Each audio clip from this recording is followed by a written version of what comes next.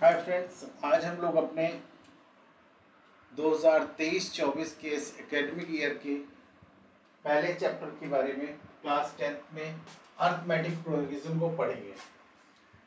इस class tenth के arithmetic progression के बारे में हम आपको समझाएँ कि ये आपके लिए कोई नया टॉपिक नहीं है। इस टॉपिक को आप पहले भी पढ़ चुके हैं, बहुत जूनियर क्लासेस में भी पढ़ चुके हैं। जूनियर क्लासेस का मतलब आप कह सकते हैं, जब आपने काउंटिंग सीखी होगी, तब भी आपने इसको पढ़ा है। तो उससे घबराने की कोई ज़रूरत नहीं। वैसे भी मानते हैं ज़्यादातर मैथमेटिशियंस कि ये चैप्टर सबसे सरल चैप्टर है बुक का ही पूरा। इस चैप्टर में हम जो जो चीज़ें पढ़ने वाले हैं, उनके बारे में आपको बता दें कि अर्थमेटिक प्रोग्रेशन क्या होती है, पहले हम इसको पहचानेंगे।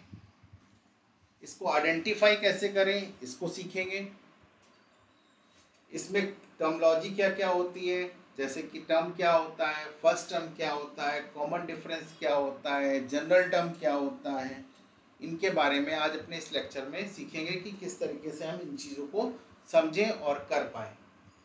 तो अब अर्थमेटिक प्रोग्रेशन में हम पहला चीज़ ये पढ़ते हैं, जो सबसे पहली चीज़ आपने अपनी लाइफ में सीखी है काउंटिंग वो क्या सीखी है? One two three four five six इस, ये नंबर सीखे हुए आपने। ये नंबर आपने सीखे थे, फिर दूसरी चीज़ जो आपने सीखी है, वो सीखी थी टेबल पहले सीखी काउंटिंग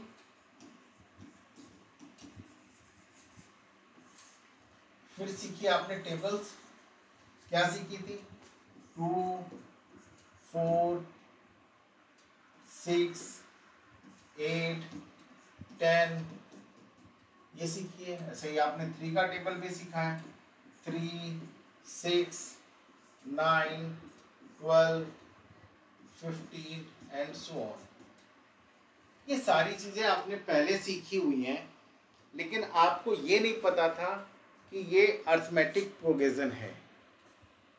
क्या है और कैसे पहचानेंगे, इसको सीखते हैं। यहाँ पे देखिए, अगर हम बात करें, ये वन से टू कैसे आया? तो हमने क्या किया था? इस नंबर में एक ऐड किया और क्या आ गया? टू आ गया। एक हुआ।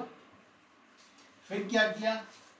हमने इस नंबर में फिर से एक प्लस वन किया और ये नंबर आ गया। ये किया? हमने फिर से क्या किया? इस नंबर में एक ऐड किया और एक यहाँ पर प्लस वन किया, ये आ गया। ठीक है? फिर हमने क्या किया? इसमें एक प्लस वन किया और ये आ गया। सब में प्लस वन ही करते जा रहे हैं। फिर यहाँ से यहाँ पहुँचे प्लस वन किया। तो कुल मिला के क्या है? हम अगला नंबर जो फाइंड आउट कर रहे हैं, उसमें एक ऐड कर रहे हैं। क्या कर रहे हैं? एक ऐड कर रहे हैं। तो जो एडिशन हो रहा है, ये किस नंबर का हो रहा है? एक सिंगल नंबर का हो रहा है। क्या है? नंबर वन कोई भी है, उसमें हम क्या कर रहे हैं? एक वन ऐड कर रहे हैं और हमें क्या मिल रहा है? नेक्स्ट नंबर मिल रहा है। नेक्स्ट नंबर मिल रहा है। यही हो रहा है। यही कर रहे हैं? जरा इसमें आए। इसमें हमने क्या किया हुआ है? इस नंबर में हमने टू प्लस किया है और यहाँ से ये नंबर मिल गया। इसमें फिर हमने टू ऐड कर दिया। ये मिल गया। इसमें फिर हमने टू ऐड कर दिया। ये नंबर मिल गया। इसमें फिर हमने टू ऐड कर दिया। ये नंबर मिल गया। टेन मिल गया। इस तरह से हमको आगे के भी नंबर मिलते चल रहे हैं। तो यहाँ पे क्या करें? नंबर वन जो भी पहला नंबर है, उसमें हम टू ऐड कर रहे हैं और नेक्स्ट नंबर ले ले रहे हैं। नेक्स्ट नंबर आ जा रहा है। अब आ जाओ यहाँ पर। इसमें हमने क्या किया? प्लस थ्री किया। इसमें क्या किया? प्लस थ्री किया। इसमें क्या किया? फिर से हमने प्लस थ्री किया। तो देखिए, तीन में थ्री में थ्री ऐड किया सिक्स आ गया। सिक्स में थ्री ऐड किया नाइन आ गया। नाइन में थ्री ऐड किया ट्वेल्व आ गया। ट्वेल्व में थ्री ऐड करेंगे तो हमें क्या मिलेगा? फिफ्टीन मिलेगा। तो यहाँ पर हमने क्या किया? नंबर वन में हमने क्या किया? टू की जगह थ्री ऐड किया और नेक्स्ट नंबर ये। नेक्स्ट नंबर आ गया। तो यहाँ पे ये समझने वाली बात है कि हम जो नंबर, पहला नंबर है, उसमें एक कोई फिक्स नंबर फिक्स यहाँ वर्ड यूज़ कर रहे हैं फिक्स नंबर कांस्टेंट नंबर हम ऐड करते हैं और अगले नंबर निकालते चले जाते हैं। यही कर रहे हैं। तो इस तरह के पैटर्न को हम क्या कहते हैं? अर्थमेटिक प्रोविज़न कहते हैं। ये है आपका अर्थमेटिक प्रोविज़न मतलब अगर हम बात करें कि इसमें हमको नेक्स्ट नंबर निकालने के लिए उसमें एक फिक्स नंबर बार बार ऐड करना पड़ रहा है। एक फिक्स नंबर को हम बार बार ऐड करते जा रहे हैं। जो हम ऐड कर रहे हैं, वो हमारे पास नया नंबर दे दे रहा है। एक नंबर था, उसमें हमने एक फिक्स नंबर ऐड किया और क्या हुआ? नया नंबर मिल गया।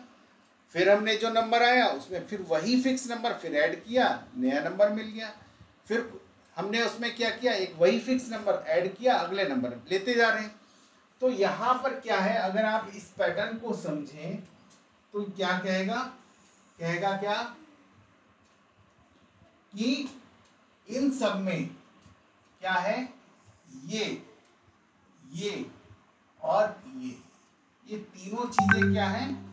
कांस्टेंट हैं। क्या है? कांस्टेंट है। जो हम ऐड कर रहे हैं, वो कांस्टेंट है। और इसी कांस्टेंट को हम लोग क्या बोलते हैं? कॉमन डिफरेंस बोलते हैं। क्या बोलते हैं?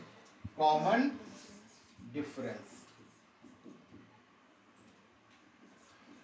it is called common difference और शॉर्ट में बोलेंगे सी डी क्या बोलेंगे? सी डी कॉमन डिफरेंस है। तो ये किसी भी अर्थमेटिक प्रोविज़न का क्या कहलाएगा? कॉमन डिफरेंस कहलाएगा। अब अगर कॉमन डिफरेंस आपको क्लियर हो गया, इसको हमने कॉमन डिफरेंस बोल दिया। अब हमारे पास आ गया, वापस इस पे चलते हैं। यहाँ पे वन क्या है? टू क्या है? थ्री क्या है? ये इस सीरीज़ के पहले टर्म है ना? ये तीनों क्या है? पहले टर्म है ना? तो इसको क्या बोला? फ़र्स्ट टर्म क्या बोला गया? फ़र्स्ट टर्म ऑफ़ एपी क्या बोला गया? फ़र्स्ट टर्म ऑफ़ एपी इनको क्या बोला गया? First term of an AP ये एपी का पहला टर्म है। जो सबसे पहले लिखा जाएगा, उसको हम क्या कहेंगे? फ़र्स्ट टर्म बोलते हैं। क्या बोलते हैं? फ़र्स्ट टर्म बोलते हैं। तो एपी का ये क्या है? पहला टर्म है। और यही टर्म से हमको पूरी सीरीज़ मिलती है। क्यों? यही चेंज करोगे तो सीरीज़ चेंज हो जाएगी। हमने यहाँ पे क्या चेंज किया? वन देखो, यहाँ पे कॉमन डिफरेंस एक है, यहाँ पे दो है, यहाँ पे तीन है। सी डी चेंज करेंगे तो क्या होगा? कॉमन डिफरेंस चेंज करेंगे तो सीरीज़ चेंज हो जाएगी। अब जरा इसको देखो, हम इसी में अब थोड़ा सा और बताते हैं। हम वन को ही लेके चलते हैं कि फ़र्स्ट टर्म हमारा क्या है? फ़र्स्ट टर्म हमारा वन है। क्या है? वन है। ये हमारा फ़र्स्ट टर्म है। लेकिन क्या है? हम सी डी चेंज करते हैं। हमने एक बार कॉमन डिफरेंस एक के लिए लेके इसके लिए कॉमन डिफरेंस कितना ले लिया? वन ले लिया। सी डी क्या ले लिया? टू ले लिया। सी डी क्या ले लिया? थ्री ले लिया। अलग अलग है कॉमन डिफरेंस हमने अलग अलग कर दिए तो यहाँ पे सीरीज़ क्या मिलेगी? यहाँ पे सीरीज़ क्या मिलेगी? इसमें एक ऐड करेंगे तो दो आएगा, दो में एक ऐड करेंगे, तीन आएगा। तीन में यहाँ में क्या कर रहे हैं? प्लस वन ही तो कर रहे हैं। यहाँ से यहाँ क्या कर रहे हैं? प्लस वन कर रहे हैं।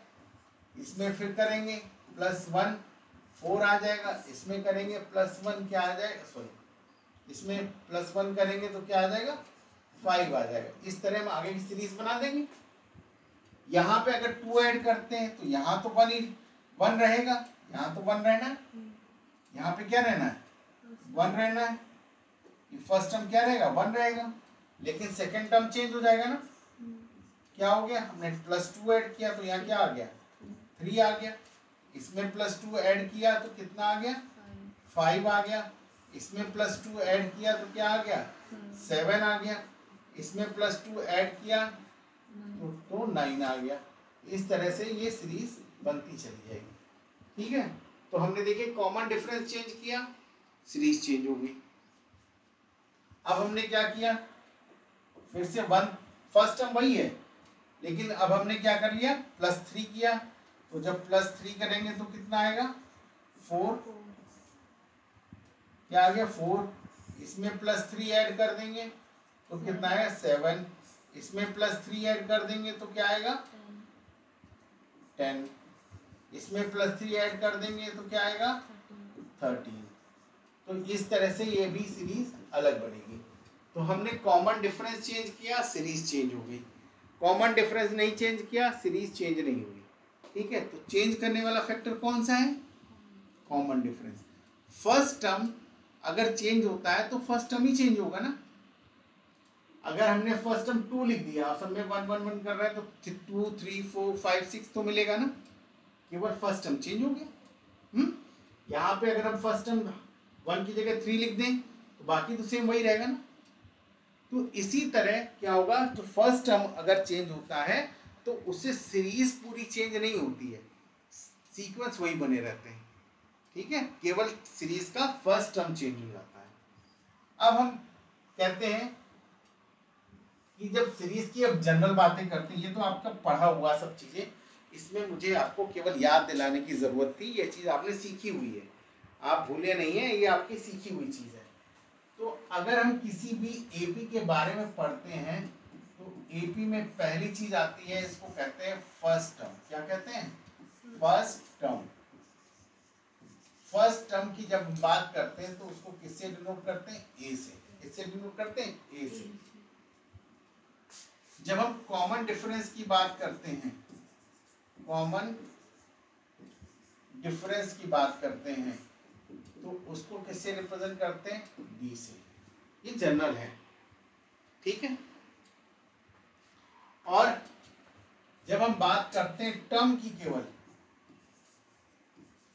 टर्म की बात करते हैं तो उसको लिखते हैं ए आई क्या लिखते हैं? ए आई और आई की वैल्यू क्या हो सकती है? वन टू थ्री ठीक है? क्लियर आई की वैल्यू कुछ भी हो सकती है। ए वन मतलब पहला टर्म ए टू मतलब दूसरा टर्म ए थ्री मतलब तीसरा टर्म ए फोर मतलब चौथा टर्म तो टर्म जो है, वो किससे डिसाइड होगा?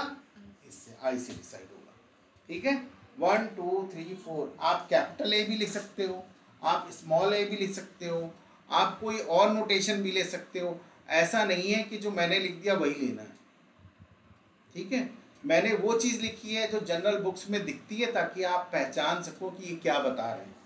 ठीक है? तो पहली चीज़ तो ये समझो। तो अगर हम लिखते हैं, हम क्या लिखते हैं? If a one a two a three a four a five and and AN is an AP. ये क्या है? एक AP है। ये एक सीरीज़ लिख दी गई। आपसे कह रहा है ये AP है। तो आप कैसे पहचानेंगे कि ये AP है? पहली चीज़। कैसे पहचानेंगे कि दी हुई सीरीज़ एक AP है? कैसे पहचानेंगे बच्चों? तो यहाँ पर पहचानने का तरीका क्या होता है? हम निकालते हैं डी तो पहला कॉमन डिफरेंस डी वन अगर लिखते हैं तो क्या लिखा जाएगा? A two minus a one क्या लिखेंगे? A two minus a one इसी तरह डी टू लिखेंगे तो क्या लिखेंगे? A three minus a two इसी तरह लिखते हैं d three a four minus a three मतलब आगे वाले टर्म से पीछे वाला टर्म माइनस करेंगे। क्या करेंगे? सक्सेसिव टर्म को पहले वाले टर्म से माइनस कर देंगे। सक्सेसिव टर्म को पहले वाले टर्म से माइनस करेंगे तो हमें क्या होगा? रिस्पेक्टिव कॉमन डिफरेंस पता चलेगा। डिफरेंस पता चलेगा। वर्ड यूज़ कर रहा हूँ डिफरेंस कॉमन डिफरेंस नहीं।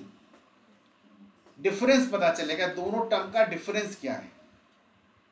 दोनों टर्म का डिफरेंस क्या है? ये पता चलेगा। कॉमन डिफरेंस नहीं पता चल रहा अभी। क्या पता चल रहा है? सिर्फ़ डिफरेंस पता चल रहा है। ये डी वन डी टू क्या है? इट इज़ कॉल्ड डिफरेंस ये कॉमन डिफरेंस नहीं है। ठीक है? ये डिफरेंस नहीं है। ये डिफरेंस है कॉमन डिफरेंस नहीं है बच्चों, ध्यान रखिए। ये डिफरेंस ऑफ़ टर्म्स है। दो सक्सेसिव टर्म के बीच का डिफरेंस क्या है? हमने ये निकाला। और अगर, अब हमें क्या है? अब हमें सोचना है रिज़ल्ट देना है कि जो दी गई सीरीज़ है, वो एपी है कि नहीं है, ये हमें बताना है।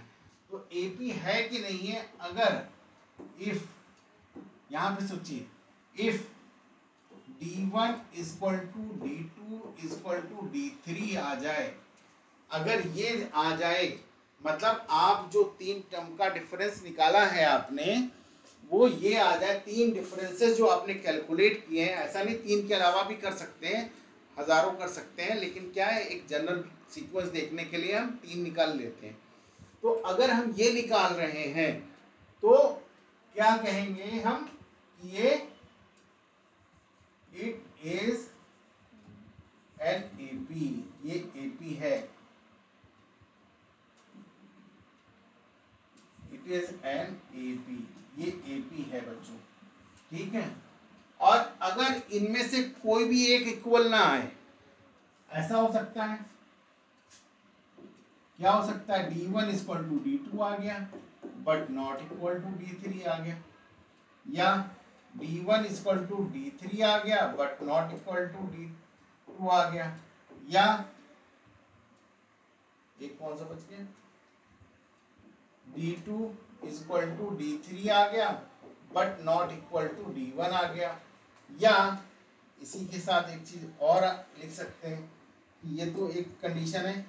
या d one is not equal to d two is not equal to कोई भी एक कंडीशन इसमें अगर आ जाती एनी वन इसमें कोई भी एक कंडीशन आ जाती है एक्सेप्ट दिस अगर इसके अलावा कोई भी कंडीशन आती है बच्चों तो क्या होगा? क्या होगा? It will not be an A P ये एक ए पी नहीं होगी। ध्यान रखिए, ये ए पी नहीं होगी। ठीक है? ए पी की पहचान करना आ गया। हमें कोई भी सीक्वेंस या सीरीज़ दे दी गई हो तो हम उसमें पहचान लेंगे। कि दी गई सीरीज़ हमारी एपी है कि नहीं है? तो हमने लिख दिया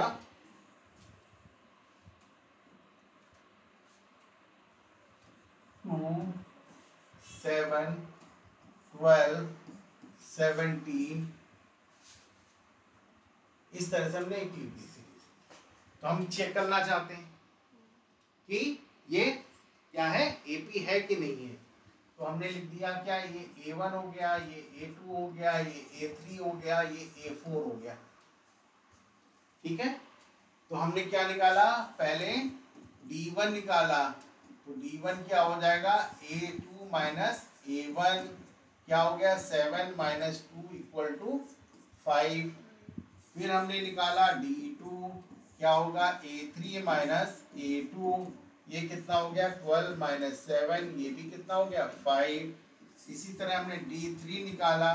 D a four minus a three ये सेवनटीन माइनस ट्वेल्व ये कितना हो गया? फाइव अब आप देखो, आपके पास क्या कंडीशन आ रही है बच्चों? ये कंडीशन आ रही है कि d one equal to d two equal to d three तो ये चीज़ ये रिफ्लेक्ट करती है, ये ए पी है, ये ए पी है। ठीक है? ये क्या रिफ्लेक्ट करती है? ये दी गई सीरीज़ एपी है। ठीक है? इसी तरह एक क्वेश्चन और लिखते जरा देखो। Root two two root two two root three two root four ये लिखा हुआ है। ये एक एपी है कि नहीं है? इसको पहचानते हैं। ये एपी है कि नहीं है? तो फिर हम क्या करेंगे बच्चों?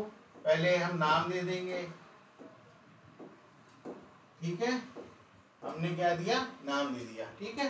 क्या नाम दे दिया? A one a two a three a four ये क्या कहलाते हैं? सारे के सारे क्या है? टर्म्स हैं। क्या है? टर्म्स हैं। ये क्या है?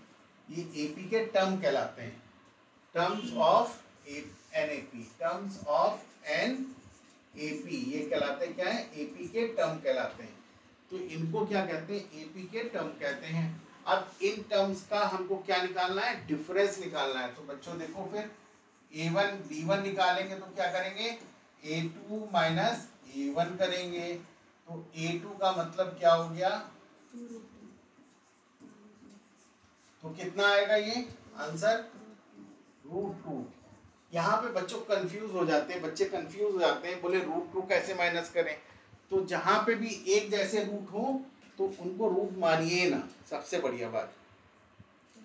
उनको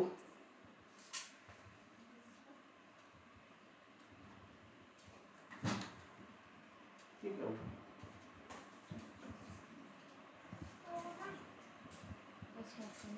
हाँ?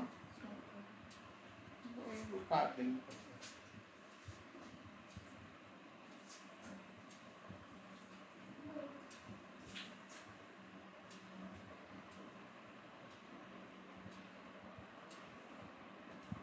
अपना कर लो देखो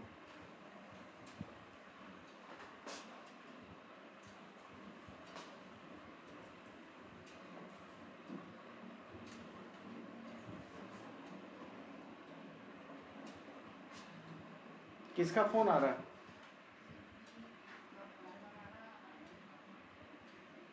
बात करो, बोलो क्लास ले हम भी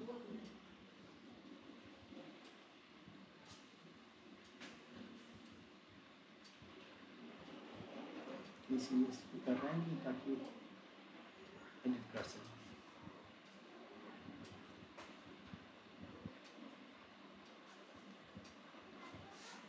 तो इसमें क्या है कि जब कभी भी आपके पास ऐसे रूट नज़र आने लगे, एक ही जैसे रूट है ना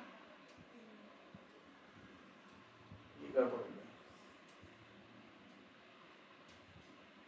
गड़बड़ हो गया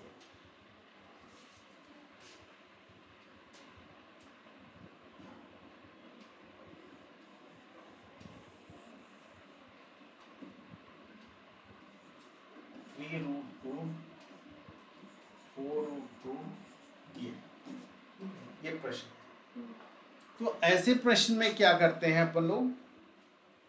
ये प्रश्न है, इसमें आप देखो रूट टू रूट टू हर जगह दिख रहा है ना? तो ऐसे रूट टू को आप रूट टू मानिए ही ना। क्या कर लेंगे? इसकी जगह कुछ भी मान लीजिए ए मान लीजिए, या बी मान लीजिए, या सी मान लीजिए तो क्या आएगा? A two b two a three a four a five a six a यही तो आएगा। और फिर डिफरेंस निकालना आसान काम हो जाएगा आपके लिए। टू ए में से ए माइनस करो, ए आएगा। थ्री ए में से टू ए माइनस करो, ए आएगा। फोर ए में से थ्री ए माइनस करो, ए आएगा। तो क्या है, आप इसमें बड़ा सिंपल तरीका है, जिन लोग जिन लोग को रूट से डर लगता हो, वो इसकी जगह पे रूट टू इक्वल टू क्या कर लें? ए मान लें। तो रूट टू इक्वल टू क्या होगा? A two a three a four a ये सीरीज़ बन गई। अब तो नहीं दिक्कत हो रही तो ये क्या कर लेते हैं? ए तो इसके इसमें क्या होगा? डी वन क्या हो जाएगा? टू ए माइनस ए क्या आ गया? ए और ए किसके बराबर है? रूट टू के बराबर। बी टू निकाल लिया। तो three a minus two a क्या आ गया? फिर से आ गया। किसके बराबर है? रूट टू के बराबर है। इसी तरह डी थ्री निकाल लिया। Three four a minus three a is equal to a आ गया। ये किसके बराबर है? रूट टू के बराबर है। हम्म? तो ये क्या है? इसमें क्या आ रहा है? इसमें आ रहा बेटा d one equal to d two equal to d three ये क्या है? एपी है ना? एपी हो गई है ये भी एक एपी है। अब एक मज़ेदार चीज़ और दिखाते हैं। जरा देखो।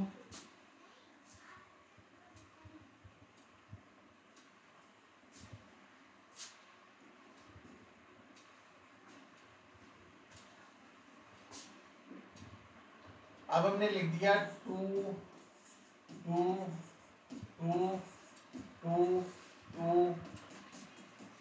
अब आपसे पूछ रहे हैं, बताओ ये एपी है कि नहीं है? तो जब एपी है तो फिर वही काम करेंगे, क्या करेंगे? A one a two a three a four a five ये लिख दिया?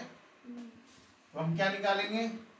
D one two minus two equal to zero d two two minus two equal to zero d three two minus two equal to zero तो यहाँ पर क्या आ रहा है? D one equal to d two equal to d three तो is an A P यहाँ पे भी जवाब आ गया। अगर आप इसको देखते हैं तो कह सकते हैं कि ये तो एपी है ही नहीं तो एक ही नंबर बार बार लिखा हुआ है। लिखा हुआ ना? एक ही नंबर बार बार लिखा हुआ है।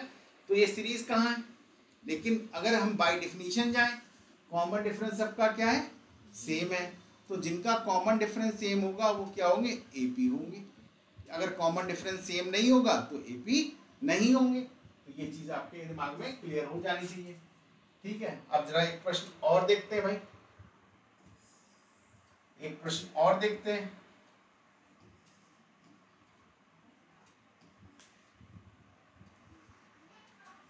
रूट टू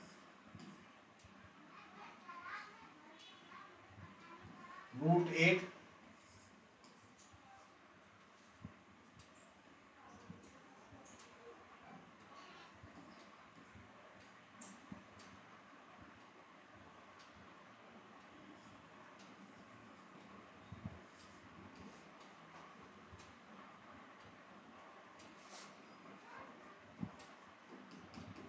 ये लिखा हुआ है।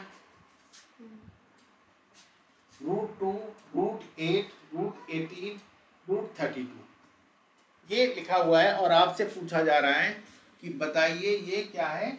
आपका एपी है कि नहीं है?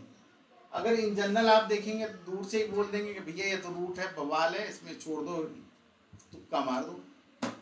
लेकिन ऐसे प्रश्न में तुक्का नहीं मारना चाहिए। थोड़ा सा पेशेंस रखना चाहिए और इनको थोड़ा सॉल्व करना चाहिए। कैसे? रूट टू तो रूट टू ही रहेगा। इसको करो फोर इंटू टू इसको करो नाइन इंटू टू इसको करो सिक्सटीन इंटू टू यही लिखा हुआ है? अब देखो टू हर जगह कॉमन दिख रहा है। हाँ? तो जब टू कॉमन दिख रहा है तो हम इसमें क्या करेंगे? टू तो यहाँ रखा, यहाँ से कितना आ जाएगा? टू कॉमन आ जाएगा। चार का अंडर रूट कितना होता है? टू तीन, नौ का नौ का अंडर रूट कितना होता है? सोलह का अंडर रूट कितना होता है? आप देखो। कॉमन डिफरेंस क्या है? इधर से इधर कितना है? रूट टू यहाँ से यहाँ कितना है? यहाँ से यहाँ क्या है? तो इसका मतलब क्या है? सब इक्वल है ना? तो क्या कहेंगे? इज़ एन एपी ये क्या है भाई? एपी है। ये क्या है? एक एपी है। तो आपको ये समझ में आ गया? हम्म? अब हम बात करेंगे। आपको बता दिया कॉमन डिफरेंस बता दिया। फ़र्स्ट टर्म बता दिया एपी कैसे पहचाने, ये बता दिया। अब हम आपको बताएँगे, इन जनरल में इसके एनथ टर्म को कैसे निकालते हैं।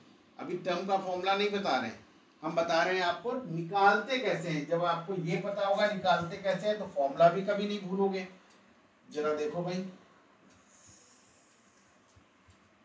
क्या है? Term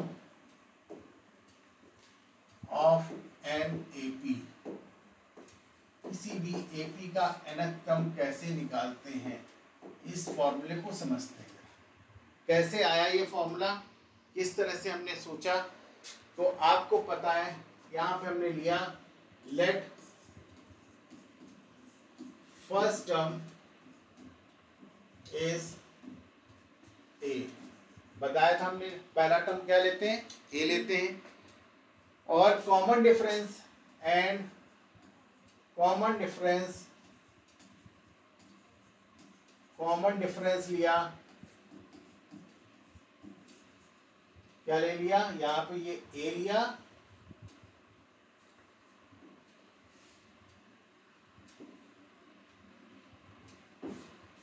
यहाँ ये ए लिया। और यहाँ पे कॉमन डिफरेंस क्या लिया? डी लिया। ठीक है? Common difference a and d ले लिया।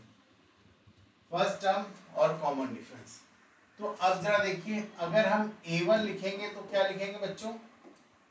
ए लिखेंगे? हम्म? और यहाँ पे हम थोड़ा सा और क्लियर कर दें ए ज़ीरो क्या लिखते हैं? ए ज़ीरो तो यहाँ पे हमने क्या लिखा? ए ज़ीरो पहला टर्म ठीक है? ए ज़ीरो लिख लिया। अब ए ज़ीरो से हमको क्या निकालना है? ए टू निकालना है। क्या निकालना है? ए टू निकालना है। तो ए टू क्या होगा? ए ज़ीरो प्लस डी होगा। होगा? ए ज़ीरो प्लस डी हमने बताया था एपी में नेक्स्ट हम निकालने का तरीका क्या होता है? जो भी आपको नंबर बताया जाए, उसमें कॉमन डिफरेंस को ऐड कर दो। यहाँ पे हमको पहला नंबर बताया गया।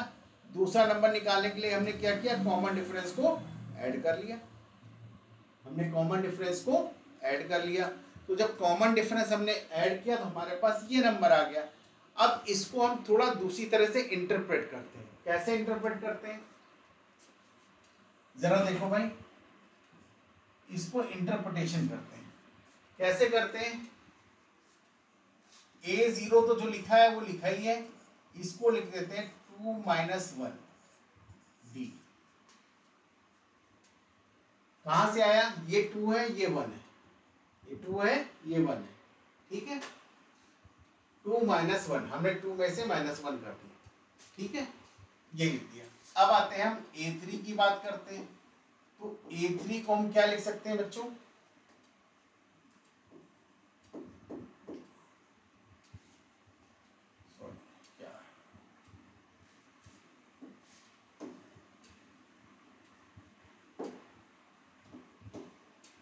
ए थ्री को क्या लिख सकते हैं? हम लिख सकते हैं क्या बच्चों? यहाँ पर क्या था? ए टू है ना? तो ए टू की जगह क्या लिख सकते हैं? ये इसमें डी जोड़ दिया। कोई डाउट है इसमें? ठीक है। ए टू की वैल्यू क्या है? यहाँ लिखी हुई है, देखो। ए टू की वैल्यू ये लिखी हुई है। क्या लिखा हुआ है? ए ज़ीरो प्लस डी ये किसकी वैल्यू है? ए टू की। ये हमने लिख दी। ठीक है? प्लस हमने क्या कर दिया इसमें? डी ऐड कर दिया। तो क्या आ गया? A zero plus two d क्या लिखा है? A zero plus two d यहाँ पे क्या था? वन डी यहाँ पे क्या था? टू डी देखो, सही आ रहा है? इसमें से इसको माइनस करो डी बचेगा। इसमें से इसको माइनस करो, क्या बचेगा? डी बचेगा। तो अब हमारे पास इसका दूसरा इंटरप्रिटेशन क्या आ गया बच्चा? A zero plus three minus one into d देखो। मतलब क्या है? हमने ए ज़ीरो में दो डी जोड़े हैं। क्या जोड़े? दो बार कॉमन डिफरेंस जोड़ा है। दो बार कॉमन निकाल थर्ड टर्म रहे लेकिन हमने उसमें थर्ड टर्म को निकालने में हमने दो बार क्या किए हैं? डी ऐड किए। किसमें? पहले टर्म में। पहले टर्म में। पहले टर्म में हमने दो ऐड कर दिए। ठीक है? तो क्या दो ऐड कर दिए? कॉमन डिफरेंस इसी तरह जब हम ए फोर निकालेंगे तो ए फोर को क्या लिखेंगे? ए थ्री प्लस डी लिखेंगे। और ए थ्री की वैल्यू क्या है? A zero plus two d यही है? ये किसकी वैल्यू है? ए थ्री की वैल्यू है ना? ये सामने लिखी हुई देखो। और प्लस डी तो बच्चा क्या आ गया? A zero plus three d तो यहाँ पे इसका इंटरप्रिटेशन हम करते हैं। क्या हुआ? A zero plus four minus one into d अब जरा यहाँ पे चीज़ देखने की समझने की ज़रूरत है, जिसको हम लोग समझते हैं। यहाँ पे कितना लिखा है? यहाँ कितना लिखा हुआ है? यहाँ कितना लिखा हुआ है? यहाँ कितना लिखा हुआ है? तो थोड़ा सा प्लस यहाँ पे क्या लिखा हुआ? वन लिखा हुआ ना? इसको वन डी। तो टू वन डी। फिर यहाँ पे थ्री लिखा हुआ है। तो यहाँ पे कितना लिखा हुआ है? थ्री सॉरी ये टू कहाँ लिखा हुआ है? ये। ये थ्री कहाँ लिखा हुआ है? ये। ये फोर कहाँ लिखा हुआ है? ठीक है? तो अगर हम यहाँ पर nth टर्म निकाल रहे होंगे तो उसका इंटरप्रिटेशन देखो यहाँ से क्या होगा? जो टर्म निकाल लें जो टर्म निकाल लें वो यहाँ लिखना है। तो क्या हो गया हमारे पास? ए नॉट तो ऐसे लिखा रहेगा। प्लस एन यहाँ लिखा, इसमें से एक माइनस किया और क्या कर दिया? डी से मल्टीप्लाई कर दिया। तो हमारा ये क्या हो गया? एनएथ टर्म का फॉर्मूला हो गया। क्या हो गया? एनएथ टर्म का फॉर्मूला हो गया। ये क्या हो गया हमारा? एनएथ टर्म का फॉर्मूला हो गया। ठीक है? क्लियर तो एनएथ टर्म क्या होता है? समझ में आया? अब जरा इसमें और देखो जरा सा।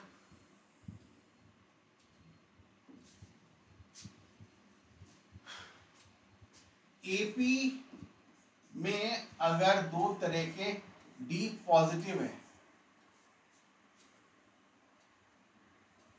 क्या है? डी पॉजिटिव है। तो एपी कैसे होगी? ग्रोइंग एपी होगी। अगला टर्म आ रहा होगा, उसका टर्म अगला बड़ा आएगा तो इंक्रीजिंग होगी। क्या होगी? इंक्रीजिंग होगी। क्या होगी? ठीक है?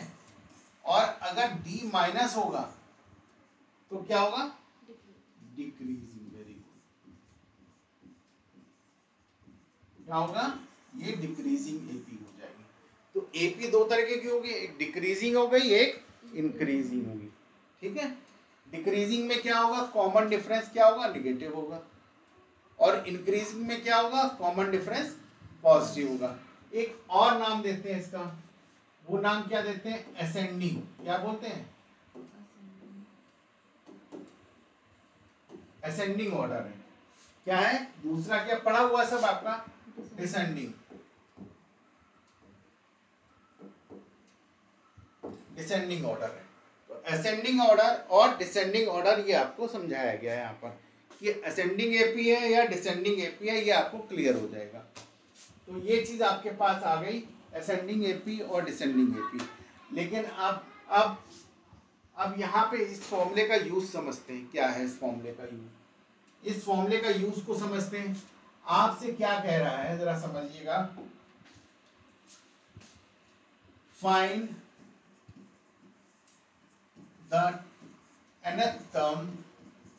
nth term of an AP whose whose first term is 5 and common difference is 2 कह रहा है उस एपी का एनथ टर्म निकालिए जिस एपी का फ़र्स्ट टर्म क्या है? फाइव है और कॉमन डिफरेंस क्या है? टू है। तो हमने क्या लिखा? हमने ए नॉट लिखा क्या? कितना है? फाइव कॉमन डिफरेंस क्या लिखा? टू ठीक है? और फॉर्मूला हमारे पास क्या है? एनथ टर्म का a is equal to a naught plus n minus one into d यही है? तो ए एन हमको निकालना है एनतम ये वैल्यू कितनी? फाइव है। N minus one into two तो फाइव प्लस क्या हो गया? N minus one two n minus two तो ये हो गया आपके पास two n plus three n term क्या हो गया बच्चों? इसका टू एन प्लस थ्री हो गया। ठीक है? इसका अदर टर्म क्या हो गया? टू एन प्लस थ्री हो गया। तो टू एन प्लस थ्री, इसका टर्म निकल गया। इसके अलावा आपसे इसी में ऐसे दूसरा क्वेश्चन पूछ सकता है कि इसका फिफ्थ टर्म निकालो। क्या निकालो? फिफ्थ टर्म निकालो। तो यहाँ पे क्या कह सकता है? कह सकता है एक अदर क्वेश्चन है। Term of A P and A P whose हाँ टर्म में वो टू एन कैसा आया। टू अंदर मल्टीप्लाई नहीं होगा? नहीं ये? हाँ, तो ये टू ये इसके साथ रखा नहीं रहेगा? हाँ, पाँच में से दो गया कितना बचा? अच्छा, first term ten and common difference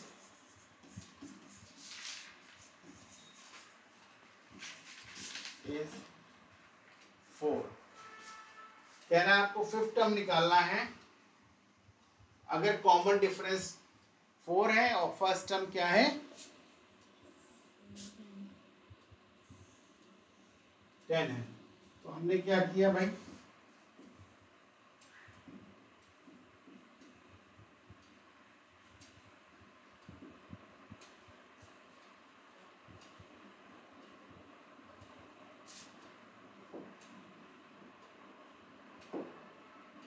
हमने ए नॉट कितना रखा बच्चों? टेन है। डी कितना रखा? फोर है। अब क्या कह रहा है? फिफ्थ टर्म ये क्या था? फ़र्स्ट टर्म ये क्या था? ए नॉट ये क्या था? डी और ये क्या था?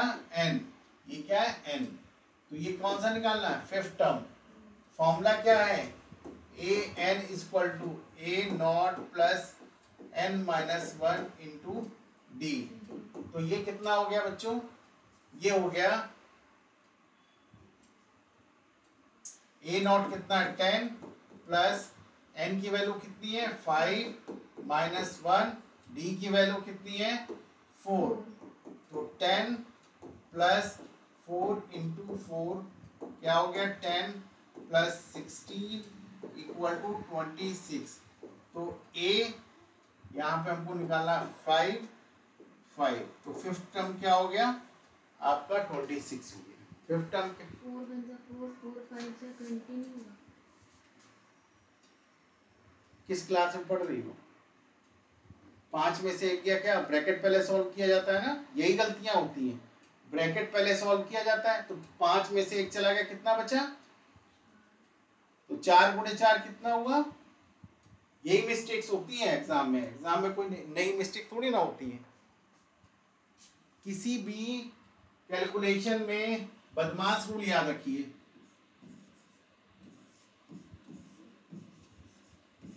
हम इसको बदमाश रूल कहते हैं BODMAS it's called broad BODMAS baud का मतलब था सबसे पहले ब्रैकेट सॉल्व कीजिए।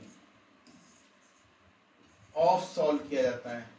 डिवाइड सॉल्व किया जाता है नेक्स्ट फिर क्या सॉल्व किया जाता है? मल्टीप्लिकेशन मल्टीप्लिकेशन फिर क्या सॉल्व किया जाता है? एडिशन फिर क्या सॉल्व किया जाता है? सब्सट्रैक्शन ये बदमाश रूल है, इसको हम लोग पढ़ाया गया है बदमाश रूल की तरीके से।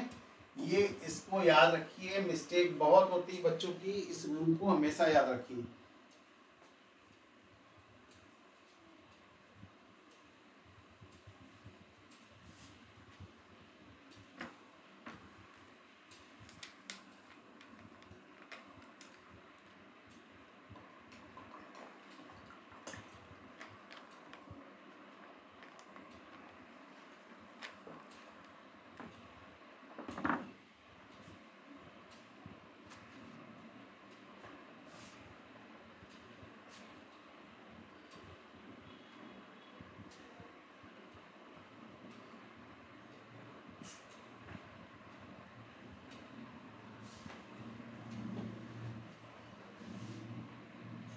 अब एक समरी पे आते हैं बच्चों। समरी हमने आज आपको क्या बताई? Identification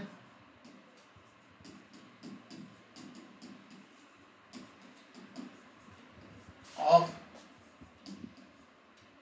an A P ये बताया। फ़र्स्ट टर्म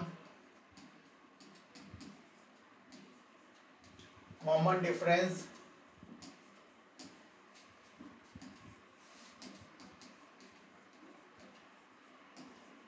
फिर हमने आपको बताया टर्म आइडेंटिफिकेशन फिर हमने आपको बताया क्या? Nth term of an A P ये बताया और आपके साथ फ्यू प्रॉब्लम्स शेयर करी। ठीक है? तो ये चीज़ें आज के लेक्चर में हैं और कल इसको आगे बढ़ाएँगे। आपको वर्कशीट भी दी जाएगी, उसको करिएगा। Thank you